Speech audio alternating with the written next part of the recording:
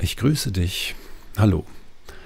Ich will dich gar nicht lange langweilen, aber ich muss kurz noch was klarstellen. Und zwar, warum ich jetzt nicht mehr weitermache mit dem Vorlesen aus der Fomenko-Übersetzung hier vom Kanal YouTube Emoji Neue Chronologie.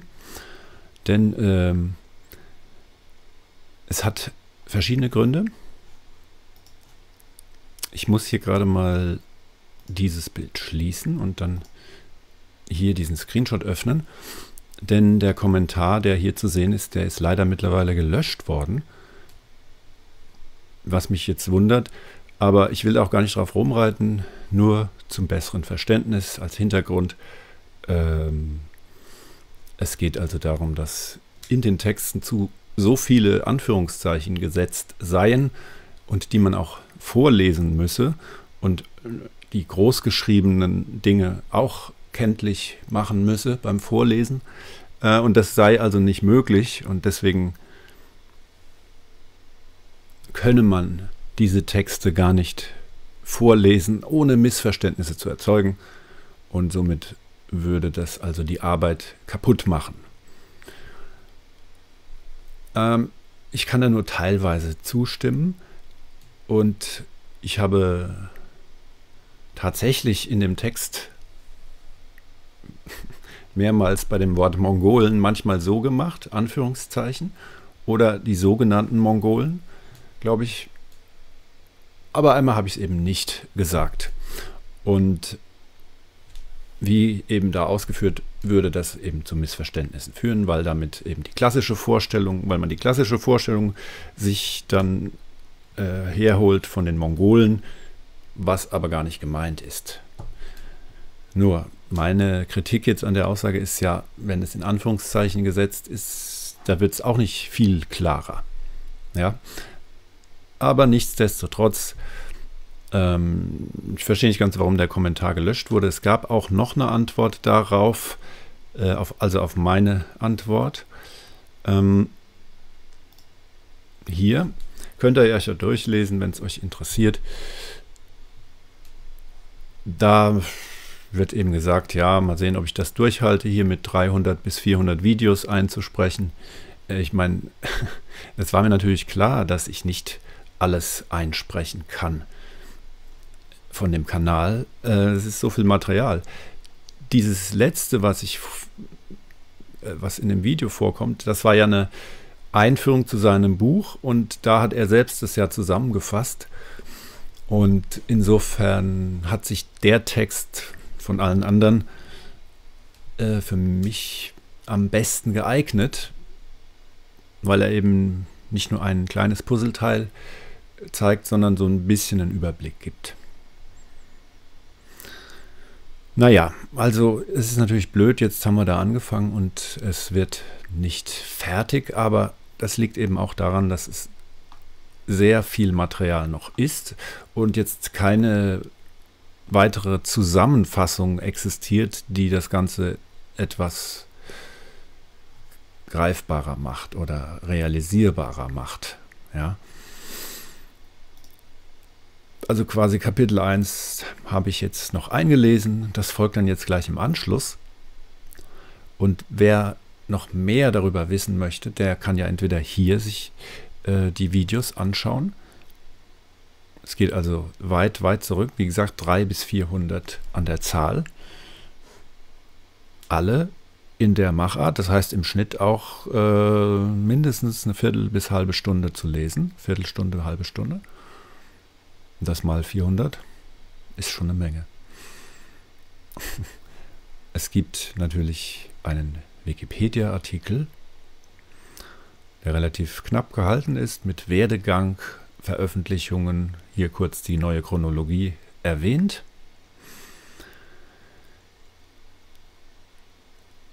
Bei den Weblinks findet sich dann einer, der hierhin verweist.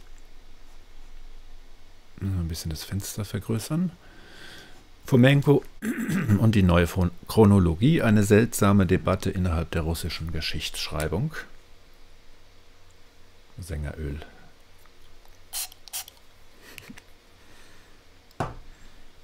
Also da geht es um die neue Chronologie. Es geht Es wird der Versuch gemacht, die Hintergründe aufzuzeigen, warum der Herr Fomenko in Russland so ein hohes Ansehen genießt. Oder es geht erstmal um das Berufsbild der Historiker, die, um die Mathematiker, die Wissenschafts, äh, Wissenschafts, wie sollte man sagen, das Ansehen der Wissenschaft, so der Wissenschaftler. Das auch im Zusammenhang mit der Vergangenheit bezüglich des Sowjetregimes und dann wird versucht, eben die Methodik zu erklären, wie er vorgeht über Astronomie.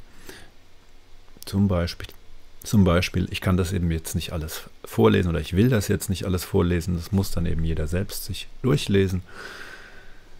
Seid mir nicht böse. Hier ein bisschen detaillierter dann als Beispiel. Es ist ja so, dass diese Parallelen nicht. Fomenko ist nicht der Erste, der diese Parallelen findet. Nochmal kurz zurück. Die Kanalbetreiberin hat mich auch angeschrieben oder hat ja auch erwähnt in der Antwort, dass der aller, allergrößte Teil der Dinge, die über Herrn Fomenko gesagt wird, ähm, Verleumdung sei. Oder dass 98 Prozent negativ oder ihn bekämpfen würden. Und somit solle ich überhaupt auch gar nicht erst andere Quellen zitieren. Denn es würde eben systematisch versucht werden, die Arbeit zu kolportieren. Und so wäre es halt auch schon damals beim Herrn Morozov gewesen. So, jetzt will ich euch gar nicht länger langweilen. Ich wollte das nur mal erwähnt haben, dass man sich immer die Hintergründe anschauen sollte. Und natürlich niemand, niemandes Meinung für, für, für einfach so blind übernehmen. Alles stellt irgendwo eine subjektive Betrachtungsweise dar. Hier wird gelistet, zum Beispiel werden die Werke von Scaliger gelistet, dann die deutschen Chronologiekritiker Heribert Illig. Jetzt geht es dann noch weiter mit Kapitel 1 und wenn ich noch eine super Zusammenfassung über die Werke oder über die Thesen vom Herrn Fomenko finde, dann werde ich das wenn das kompakt ist, einigermaßen, werde ich es einsprechen. Und nochmal sorry, aber es ist nun mal, wie es ist. Ich danke und jetzt geht es weiter mit der mit Kapitel 1 noch gesprochen von einem guten Bekannten, den ich als Gastsprecher gewinnen konnte. Dankeschön. Von A.T. Fomenko und G.V. Nosowski wie es wirklich war. Aus dem russischen Kakboiler na samom delje. Einführung Die Epoche vor dem 11. Jahrhundert Dieser Abschnitt ist sehr kurz, es gibt keine Informationen in erhaltenen schriftlichen Quellen über Ereignisse vor dem 11. Jahrhundert. Damals gab es noch kein Schreiben. Es erschien erst im 10. 11. Jahrhundert. Nach Kaligas Geschichte hat die Schrift ihren Ursprung in der Antike, angeblich lange vor Beginn von Anno Domini. In Wirklichkeit tritt die geschriebene Geschichte der Menschheit erst im 10., 11. Jahrhundert aus der Dunkelheit hervor. Alle erhaltenen antiken Dokumente, auch die, die der tiefen Antike zugeschrieben werden, beschreiben in Wirklichkeit die Ereignisse des 11. bis 17. Jahrhunderts. Viele von ihnen wurden durch die falsche Chronologie des Scaliger Petavius zwangsweise in die ferne Vergangenheit verbannt. Die Epoche vor dem 11. Jahrhundert sollte als Urzeit der Beginn der Zivilisation angesehen werden. Uhrwerkzeuge aus dieser Zeit sind bis heute erhalten und werden in Museen und Galerien ausgestellt, die dem frühen Menschen gewidmet sind, der angeblich viele Jahrhunderte und sogar Jahrtausende vor Christus lebte. Keramikfragmente, Knochen, Feuersteinwerkzeuge, Steinmesser und Äxte, Schaber, Asche von Höhlenbränden, Knochen und Steinpfeilspitzen und Speerspitzen, Ornamente aus Mammutknochen und Zähne von Raubtieren. Es sind diese Galerien der modernen Museen, die uns einen genauen Überblick über das menschliche Leben bis zum 10., 11. Jahrhundert geben. In dieser Zeit wohnten die Menschen noch in Höhlen und Unterständen. Sie verfügten noch nicht über das Know-how, um bedeutende Bauwerke zu bauen, geschweige denn Gebäude aus Holz oder Stein. Aber wir sollten nicht davon ausgehen, dass die Stein- und Knochenwerkzeuge und Alltagsgegenstände im Laufe des 11. Jahrhunderts obsolet wurden. In Wirklichkeit existierten sie und wurden später bis ins 15. bis 16. Jahrhundert, deutlich später weit verbreitet. So kamen die Deutschen im 16. Jahrhundert, um den Moskauer Kreml mit ihren Steinäxten zu bauen, die die zeitgenössischen deutschen Historiker vorläufig auf das zweite Jahrhundert vor Christus datierten. So existierten die Steinwerkzeuge bis ins 16. Jahrhundert mit den Metallwerkzeugen. Der Bau des Moskauer Kremls wird von den Historikern als Ende des 15. Jahrhunderts datiert aber in der neuen Chronologie wird er der zweiten Hälfte des 16. Jahrhunderts zugeschrieben.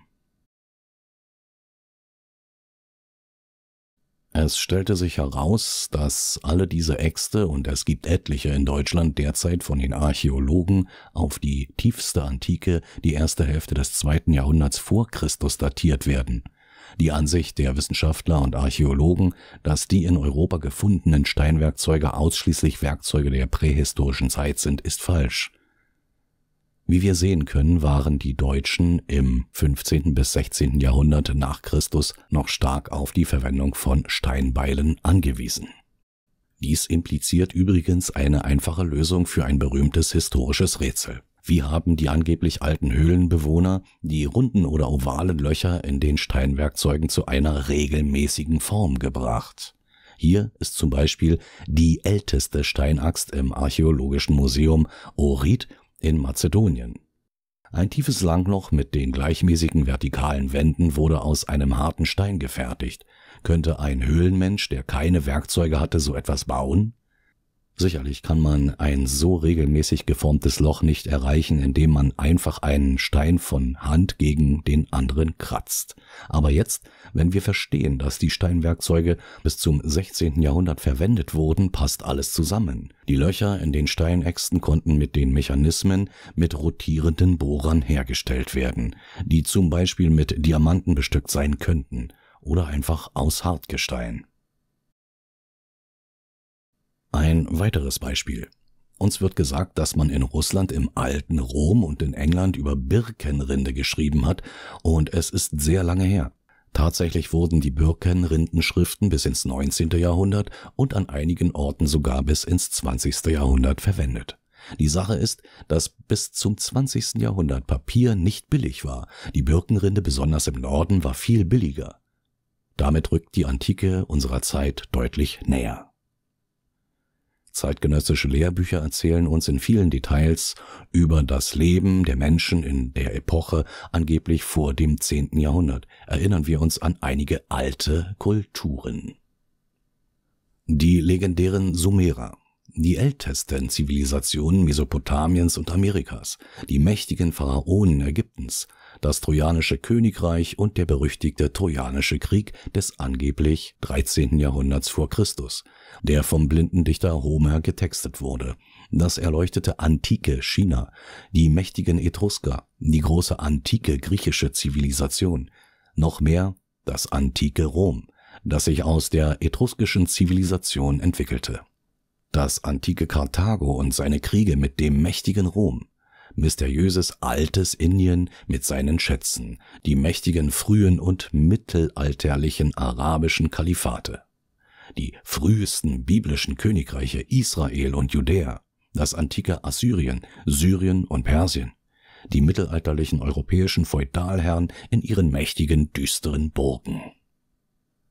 All dies, so sagten sie uns, existierte vor dem zehnten Jahrhundert nach Christus.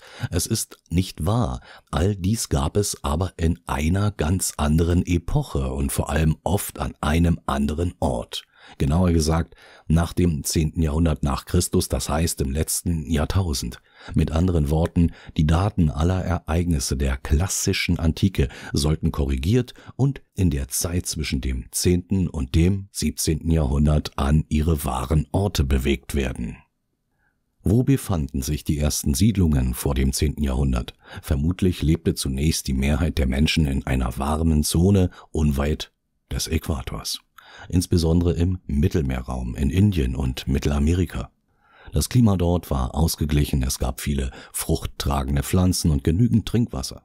Dies förderte die schnelle Fortpflanzung der Menschen. Es gab genug zu essen, es gab keine kalten Winter und es war einfach, Wohnungen zu bauen.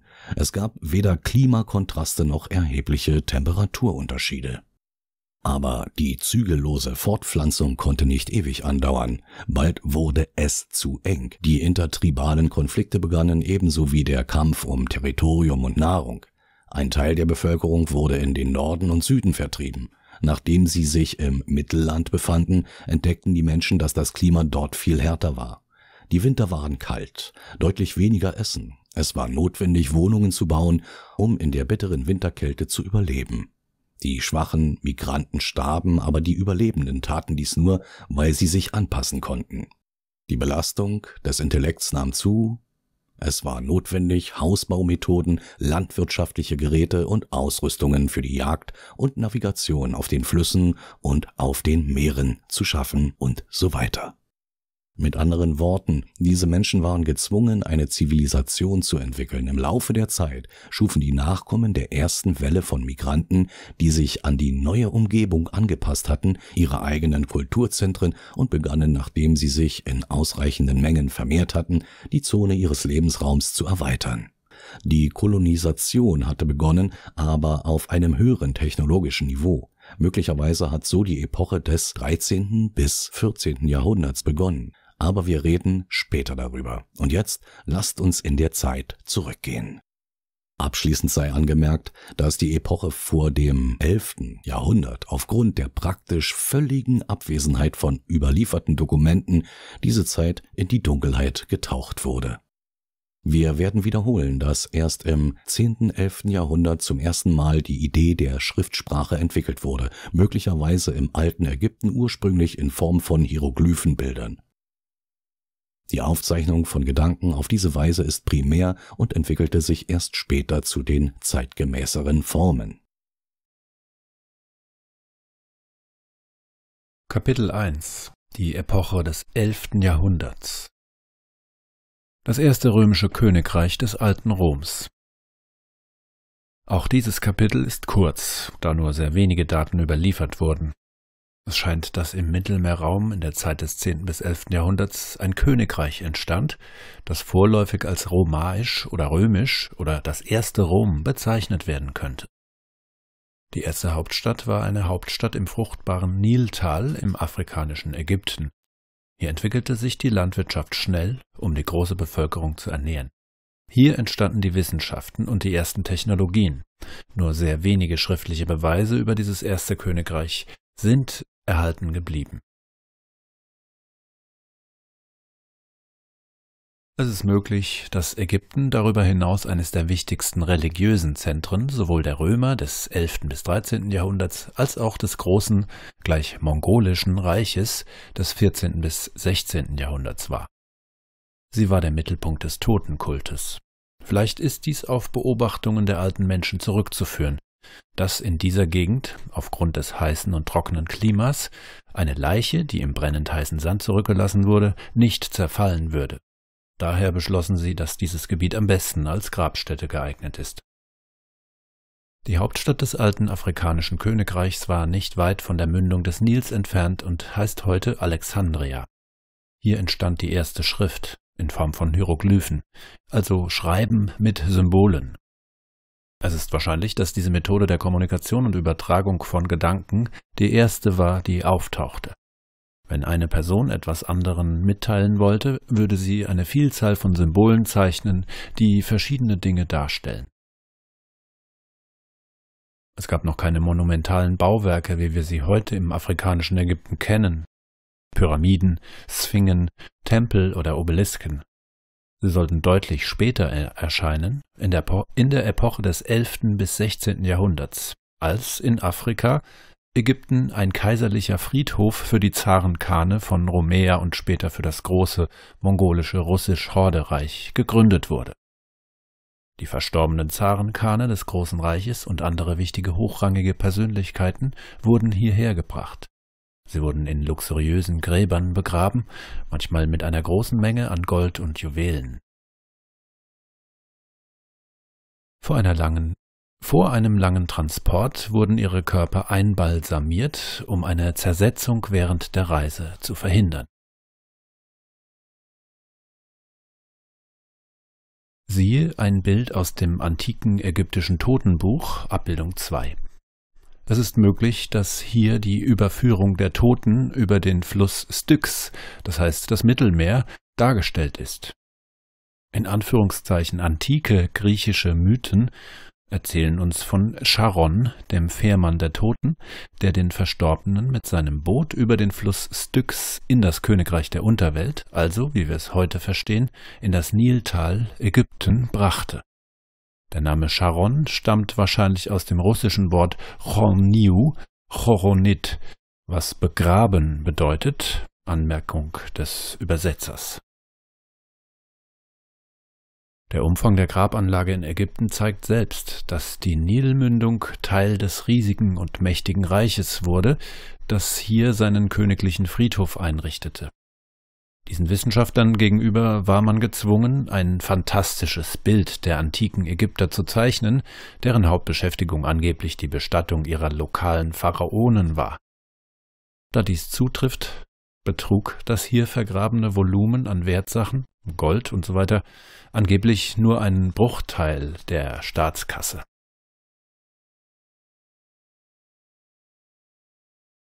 Im 11. Jahrhundert zog die Metropole des Königreichs an den Bosporus, wo in strategisch günstiger Lage, der engste Teil des Bosporus, eine Stadt Joros, Jerusalem, auch bekannt als Zargrad, Stadt des Zaren, aka also auch bekannt als Troja, etwa 30 Kilometer nördlich des modernen Istanbul, entstand. Hier sind die imposanten Ruinen dieser Stadt und eine Festung namens Joros bis heute erhalten. Später, im 13. bis, äh, bis 14. Jahrhundert, zog die Hauptstadt des Königreichs etwas nach Süden, wo eine neue Stadt mit dem gleichen Namen Jerusalem entstand. Im Laufe der Zeit hieß es Konstantinopel und später Istanbul. Der Name Jerusalem schwebte und wurde in, zu verschiedenen Zeiten auf verschiedene Städte angewendet. Verschiedene Provinzen, Fema-Distrikte gehörten zum Königreich der Roma.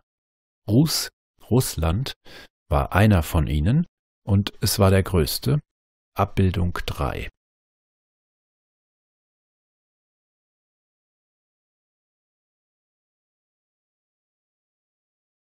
In der Zeit des 10. bis 11. Jahrhunderts wurde zum ersten Mal der Osterzyklus berechnet. Der erste kaiserliche Kalender wurde erstellt. Die Astronomie entsteht, die zunächst dem kirchlichen Kalender dienen und saisonale Veränderungen von Wetter und Klima betrachten soll.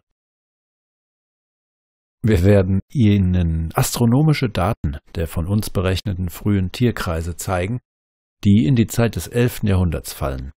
Manchmal gibt es in den späteren Epochen unterschiedliche Lösungen. Wir möchten klarstellen, dass ein Horoskop die Position der Planeten in einer Konstellation ist. Zum Beispiel Mars in Jungfrau, Saturn, in Fische etc. Die Horoskope werden wie folgt berechnet.